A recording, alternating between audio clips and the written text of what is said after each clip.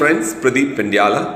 Today I am going to talk about one of the very important catecholamine. I'm sure you know adrenaline, epinephrine, and dopamine. These are the catecholamines, ain't it? Adrenaline, also known as epinephrine, is a hormone and uh, it's involved in regulating uh, visceral functions and I'm sure you know that it's produced by adrenal, adrenal glands and uh, also from neurons and medulla oblongata. It plays a very, very important role in fight or flight response.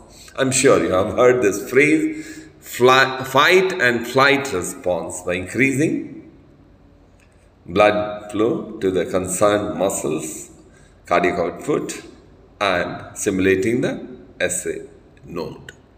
It causes the pupillary dilatation and also increases the blood sugar level. Does this by binding to alpha and beta receptors. I'm, I'm going to tell you in detail a little later. And uh, it was first isolated by a Polish physiologist, Napoleon Cybulski. Okay, now I'll make it a bit more interesting. I'm sure it is, you know, that it is dose dependent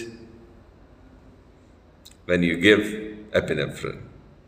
It increases the heart rate, systolic blood pressure, and stroke volume and cardiac output.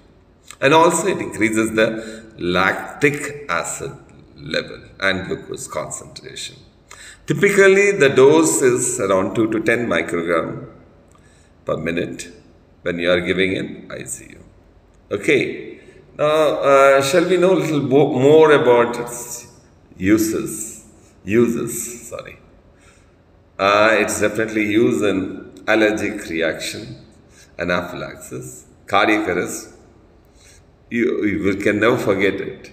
The most important drug in cardiac arrest and also anaphylaxis. Most important drug. Okay, and uh,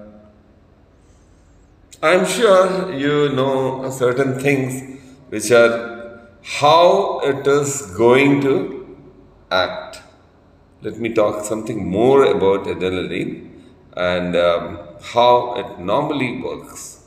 Now, medical uses, as I said, anaphylaxis and cardiac arrest. and Beside that, in croup, it really works very well. Inhaled adrenaline may be used to improve the symptoms of croup. May also be used in asthma when other treatments are not effective. Usually given intravenously, it can be given IM also and subcutaneously also.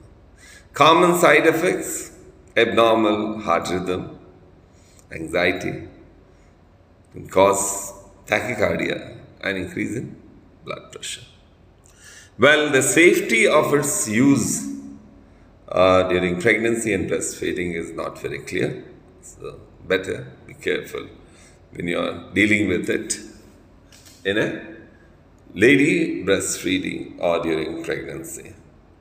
And uh, as I have said, adrenal, adrenal medulla is the contributor to the circulating catecholamines.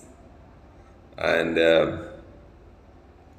90% of circulating ad- adrenaline comes from adrenal medulla. Little Adrenaline is also found in other tissues like the scattered chromaffin cells and small number of neurons and uh, um, neurons which use adrenaline as neurotransmitters. Okay, now what happens if a person has adrenalectomy, removal of adrenaline, um, adrenal gland? Okay, what happens? Adrenaline disappears below the detection in limits in the bloodstreams. Pharmacological doses of adrenaline stimulates alpha 1, alpha 2, beta 1, beta 2, and B3 adrenoreceptors of sympathetic nervous system. Okay, the if you want to know a little deeper, the concept of adrenal medulla and the sympathetic nerve system, which is involved in flight, fight, and fright response, was originally proposed by Walter Bradford Cannon. Interestingly, adrenal medulla, in contrast to the adrenal cortex, is not required for survival. How? In adrenalectomized patients, hemodynamic and metabolic responses to stimuli such as hypoglycemia and exercise remain normal. This is very, very briefly about the most important drug. This is just to increase your inquisitiveness and interest about the drugs. Most useful, most important drug that is adrenaline or epinephrine. Thanks for patient listening. This is Colonel Pradeep Pendyala, Professor of Anesthesiology at ASRAM Medical College, Eluru city of Andhra Pradesh, India. In advance,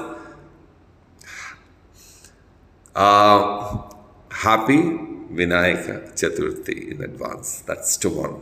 Bye bye. Take care until next time. Take care. Bye bye.